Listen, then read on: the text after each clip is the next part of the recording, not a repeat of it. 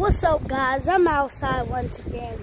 So if y'all want to come out here, just get off your game and come out here. I have the grass and got my bike. I'm riding my bike and everything. So come outside, kids.